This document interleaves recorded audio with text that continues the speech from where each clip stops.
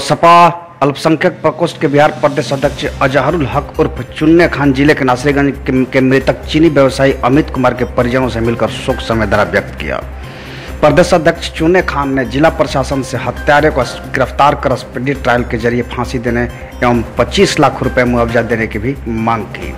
उन्होंने कहा कि नासरीगंज के चीनी व्यवसायी अमित कुमार की निर्मम तरीके से गोली मारकर हत्या से समाज काफ़ी आक्रोशित है। उन्होंने जिला पुलिस प्रशासन से व्यवसायी वर्ग के लोगों को पर्याप्त सुरक्षा देने की भी मांग की।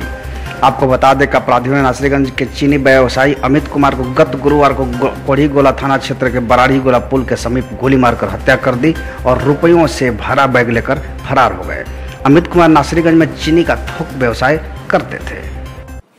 इस घटना के बारे में आप क्या कहना चाहते हैं? सुशासन के राज में प्रशासन फेल है।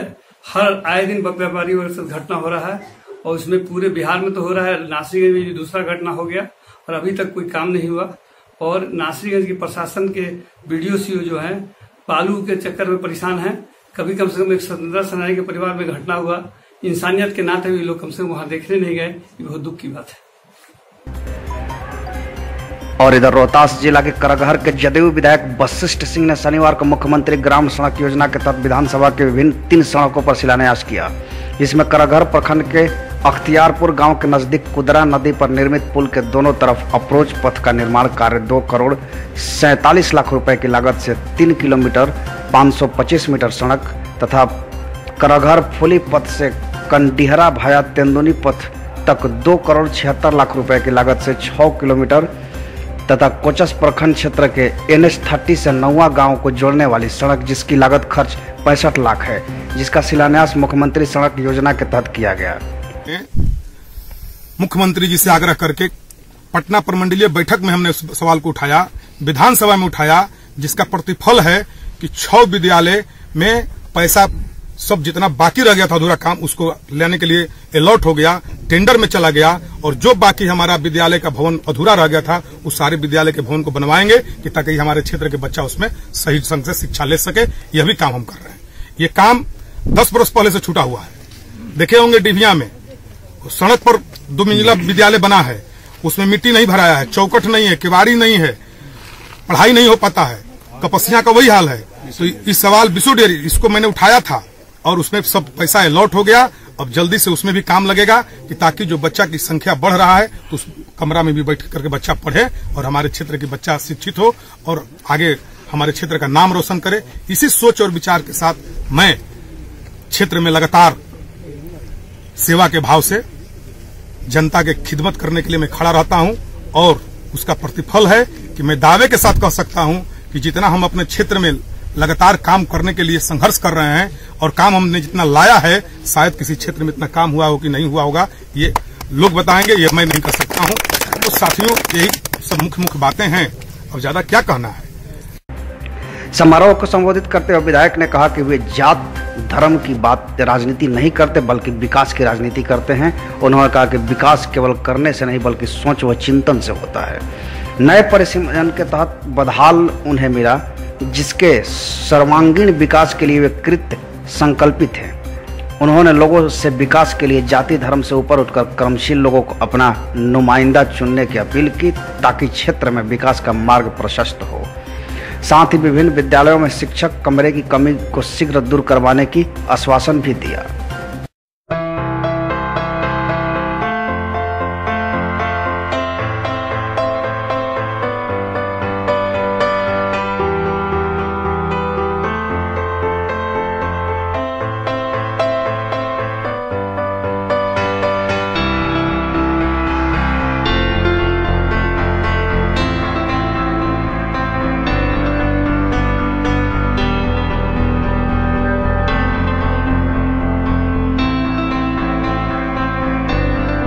सासाराम मंडल कारा में हत्या के मामले में सजा काट रहे बंदी की अचानक मौत हो जाने से परिजनों ने जमकर बवाल काटा। बताते चले कि 30 दिसंबर 2017 को सासाराम के मोहल्ला किला में हुए गैंगवार में मारे गए जयराम और महताब की मौत हो गई, जिसमें जयराम के भाई ननहक चौधरी को महताब की हत्या में गिरफ़्तार कर लिया गया था।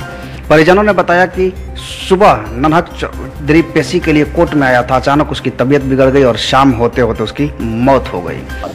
एक दो घंटा के बाद ख़राब होने पर सदर हॉस्पिटल आया तो फिर वहाँ तबीयत उसका कुछ सीरियस लग रहा था तो उसके गार्जियन बोले कि नहीं हम इसको रेफर रेफर करने पर सदर हॉस्पिटल का प्रोविज़न है कि पटना जाता है लेकिन ये लोग बोले कि नहीं एन लेके जाइए क्योंकि तबीयत ज़्यादा ख़राब है इसको इमीडिएट ज़रूरत है इलाज की। एनएमसीएच जैसे ही ले गए वहाँ पर रास्ते में उसकी डेथ हो गई।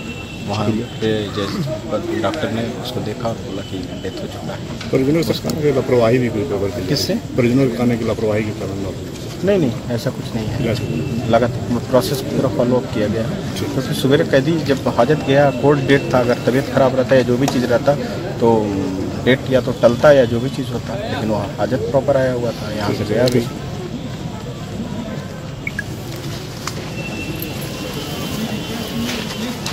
परिजनों ने उसकी हत्या के पीछे साजिश बताया है और इसे जहर देकर मारने की आशंका जताई है। वहीं एसपी राजेश कुमार ने कहा कि बंदी की अचानक तबीयत खराब हो गई और उसे अनुमंडल हॉस्पिटल डेहरी भर्ती कराया गया। वहाँ स्थिति बिगड़ते देख सदर अस्पताल सासाराम भेजा गया, जहाँ परिजनों के अनुरोध पर Narayan medical college and hospital भेजा गया, जहाँ उसकी मौत हो गई। मृतक के परिजनों एवं मोहल्ले वासियों ने स्थानीय पोस्ट ऑफ़िस चौक को जाम कर दिया, जिसे हटाने के लिए एसएसबी को लाठी भांजनी पड़ी। पुलिस ने शव को अपने कब्जे में लेकर पोस्टमार्टम के लिए भेज दिया है। हुई है, उसमें उनके द्वारा बताया जा रहा है कि एक नन्हत चौधरी करके एक कैदी है उनका, जिसकी आज तबीयत बिगड़ी थी। और शुरुआती दौर में तो उनके द्वारा बताया गया कि सुबह में ये कोर्ट में आया था अपना कुछ हाजिरी वगैरह पे, और 12 बजे के आसपास उसको जेल वापस ले जाया गया था। उसके बाद कान का उसका कोई प्रॉब्लम पहले से चल रहा था, जिसका इलाज अनुमंडल सदर हॉस्पिटल के किसी चिकित्सक के द्वारा देहरी में किया जा रहा था। और इस कैदी के द्वारा जो शुरू में अपने कान का प्रॉब्लम वगैरह कुछ बताया गया, उसी आधार पर उसको पहले देहरी अनुमंडल अस्पताल इलाज में भेजा गया। और आने के बाद वो अचानक कुछ देर के बाद, दो घंटा के बाद ये इसके बेहोश होने की बात जेल प्रशासन को पता चला। उसके बाद इलाज के लिए उसको सदर अस्पताल में ले, ले आया गया। बेहतर इलाज में यहाँ से नारायण मेडिकल कॉलेज हॉस्पिटल में ले जाया गया जहाँ डॉक्टर के द्वारा उसे मृत बताया गया और उसी संदर्भ में ये सब कार्रवाई हो रही है। ठीक है सर। का जो भी कैदी बंदी है मान लीजिए ननक चौधरी का बात है तो उनका कल भी कोर्ट था जो हमारा बातचीत भी हुआ आज भी कोर्ट था। कोर्ट आने के बाद अचानक कंडीशन क्रिटिकल कैसे हो गया? अचानक तबीयत खराब अचानक कैसे हो गया? तो ये भूल है प्रशा ये जेल प्रशासन का भूल है या जेल में कुछ घटना घटा क्रिमिनल एक्टिविटीज़ हुआ है यहाँ पर। अपराधी प्रवृत्ति। अपराधी प्रवृत्ति जेल के अंदर हुआ है, जिसके कारण ननक चौधरी का मृत्यु हुआ है। तो हम हम जो भी जेल प्रशासन है और बाहरी जो प्रशासन है, उनसे हम रिक्वेस्ट करते हैं कि इस ये जो मृत्यु हुआ है, ये मृत्यु क्या बोलते हैं, ये मतलब कि बहुत ही खराब रीत से हुआ है। इनको पॉइजन दिया गया है। तो you are a reporter you know everything किसी का चेहरा ब्लैक पड़ जाता है हाथ ब्लैक पड़ जा रहा है this is this is a big reason of poison ये जहर का असर है। ठीक ना? तो मैं सिर्फ़ यह कहना चाहता हूँ कि जेल से ही जो घटना घटा है जेल से ही हुआ है। जेल प्रशासन का इसमें फुल गलती है। हम इंसाफ चाहते हैं और हम लोग को इंसाफ चाहिए बस। यही रिक्वेस्ट है। क्या नाम हुआ आपका? प्रमोद पटेल। आप क्या लगे परिजन के कौन है? मेरा दोस्त है। मेरा भाई से भी बड़ा है मेरा दोस्त। वी ननक चौधरी हम फ्रेंड है। अब तो अब तो था थे।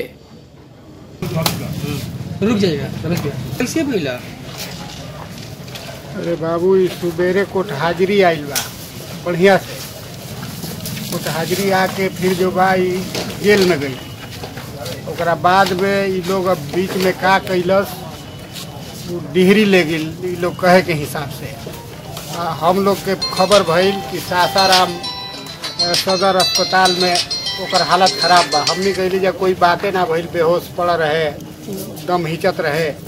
हम हड़बड़ाए लगली कि भैया एकरा के ले चले के कहूँ, रेफर कीजिए रेफर कीजिए। कोई रेफर इधर जाँच करना है तो उधर जाँच करना है। एगो मोटे मोटे मैडम बाड़ी हूँ अलगे अपन लिफाफा डॉक्टर ऐसी करत करे के हालत गबड़ाए लगल तो हमनी के चली जा भैया कम से कम या नारायणी में भी ले चल के दिखा दिहल जाए। आप लोग चलिए, हम लोग साथे हैं, अब तो भागने लायक थोड़ा कि भागेगा। नारायणी में जाते जाते इसका मृत्यु हो गया और अब इसमें सारा जिम्मेवार जेल प्रशासन बा। जेल प्रशासन के वजह से ही हमारा लड़का के जान गई और जिम्मेवार लड़का हमार नाजायज केस में जेल गई बा। सोलह आना नाजायज केस में जेल एक पहले, जो डीएसपी साहब रहन, आलोक रंजन हमनी के नाजायज गेंगवार में डाल दिलन। हमारा लड़का के मर्डर भइल। हमारा लड़का के दस गोली पंद्रह गोली लगल।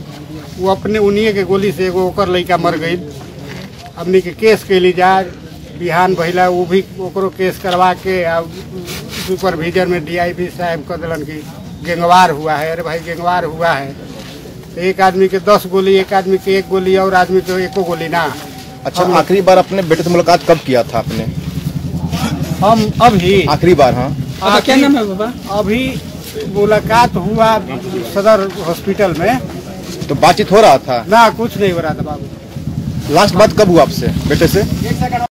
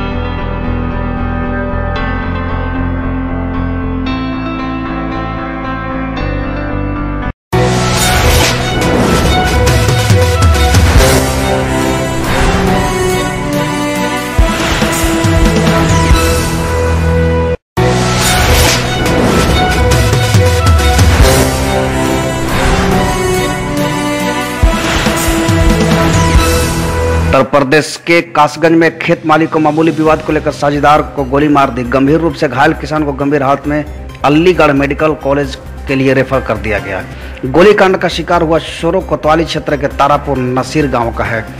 क्या नाम है तुम्हारा? प्रेम सिंह। प्रेम सिंह आपके भाई की गोली मारने का मामला सामने आया है। किन लोगों ने गोली मारी क्यों मारी? कुबेर नगरी के। उन्होंने गोली मारी थी खरबूजा के ऊपर लड़ाई हो रही थी गाली गलौज दे रहा था। उन्हें मेरे भाई शैलेश ने मना करी कि कच्चे खरबूजा मन तोड़ो पके पके खरबूजे सारे तोड़ लो। तो वो नहीं माना था। तो वो गाली गलौज कर रहा था तो उन्होंने भी हाथ पाथ उसके मार दिया, एक आध मारा या नहीं मारा, वो तो कह रहा था कि मेरे हाथ मार दे। तो अपने घर जाके अपने लड़कों को लिवा के लाया दो तीन को, और तीन सौ पंद्रह का तमंजा संग लेके आया। उसका लड़का मेरे भाई शैलेश से बतलाने लग गया तो उसने गोली मार दी पीछे से आके। कहाँ गोली लगी है? बाजू में रख के कोर्ट पे आई है कैसी हालत है उनकी हालत गंभीर हालत है ज़्यादा पुलिस ने क्या कार्रवाई की? किसी की कार्रवाई वहाँ से इंक्वायरी करके लाई है।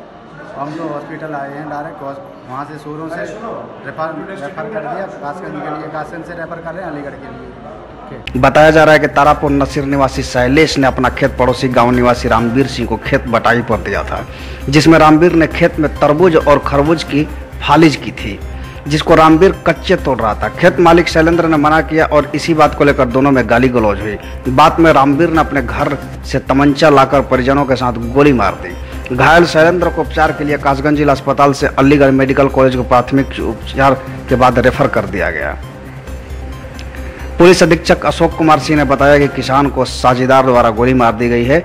आरोपी के खिलाफ मुकदमा दर्ज कर गिरफ़्तार कर लिया गया। आगामी कार्रवाई की जा रही है। गोली मारने का मामला सामने आया क्या कुछ मामला रहा है? तारापुर में ये तरबूजे की खेती के लिए नसीर स- ये शैलेश ने रामवीर को पटाई पे दिया हुआ था। तरबूज की खेती हो रही थी। तरबूज तोड़ने को लेकर विवाद हुआ है और इसने रामवीर ने शैलेश को गोली मारी है कट्टे से उसके पेट में लगी है वो रेफर हो गया अलीगढ़। अभी फ़िलहाल खतरे से बाहर है। मुकदमा पंजीकृत कर लिया गया और उसको गिरफ़्तार भी कर लिया गया पूरी कार्रवाई की जा रही है। आज Bharat Pakistan world cup match होने जा रहा है और लोगों में काफ़ी उत्साह देखने को मिल रहा है। लोग अपने अपने तरफ़ से प्रेडिक्शन कर रहे हैं, अपने अपने तरफ़ से बातें कर रहे हैं। वही इटावा जनपद में पाकिस्तान टीम के कप्तान सरफराज अहमद के मामा महबूब हसन ने कहा कि हम दुआ करते हैं कि अब की बार फिर इंडिया जीते और पाकिस्तान को करारी हार दे। आपको बता दें कि पाकिस्तान टीम के सरफराज अहमद के मामा महबूब हसन भीमराव अंबेडकर के कृषि इंजीनियरिंग कॉलेज में वरिष्ठ सहायक लिपिक के पद पर तैनात हैं। जब जब इंडिया पाकिस्तान का मैच होता है, तब तक सरफराज अहमद के मामा यही कामना करते हैं कि अपने देश इंडिया की जीत हो और पाकिस्तान की करारी हार हो। इसी को लेकर आज पाकिस्तानी क्रिकेटर और कप्तान सरफराज अहमद के मामा ने इंडिया की जीत के लिए दुआ मांगी है। वही सरफराज के सगे मामा ने भारत और पाकिस्तान के अच्छे रिश्ते होने की बात कही, व हमारे देश के प्रधानमंत्री मोदी के अच्छे कामों का भी ज़िक्र किया। देखिए रिपोर्ट। सरफराज जी जाना आपका भांजा है कल पाकिस्तान टीम में। देश का एक बड़ा मैच होने वाला है जिसमें पूरे देश की निगाहें लगी हुई हैं। जी। क्या कहना चाहेंगे उस मैच को लेकर आप? नहीं देखिए जहाँ तक पाकिस्तान और हिंदुस्तान के मैच की बात है तो हमारे देश की टीम बहुत स्ट्रांग है बहुत अच्छे प्लेयर हैं और